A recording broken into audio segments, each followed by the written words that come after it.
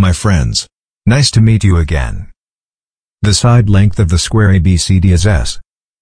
There is a point K inside the square, and it is exactly on the arc, whose center is A and whose radius is AB. We plot the tangent to the arc by crossing point K. BP is perpendicular to this tangent at point P. And DQ is perpendicular to this tangent at point Q. How long is the summation of BP, plus DQ, plus PQ? Why not give a try, and we will come back soon.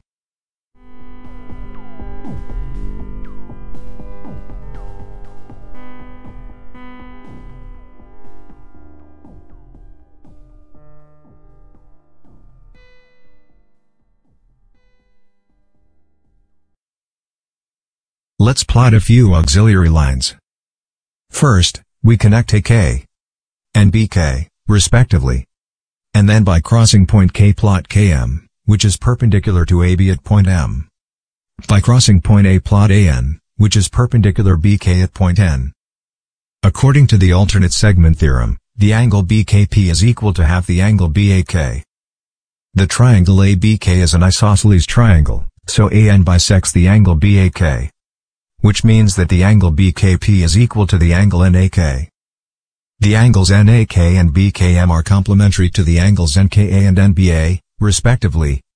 Again, since triangle ABK is an isosceles triangle, angle NKA and angle NBA are equal.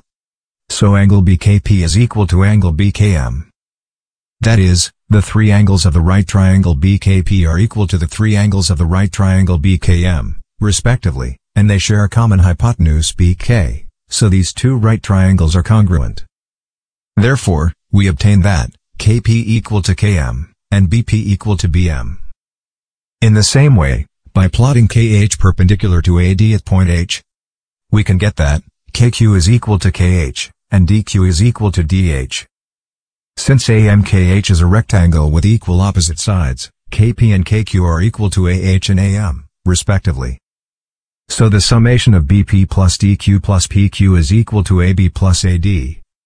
Which is twice the side length, namely twice S. Thank you for watching, and see you next time.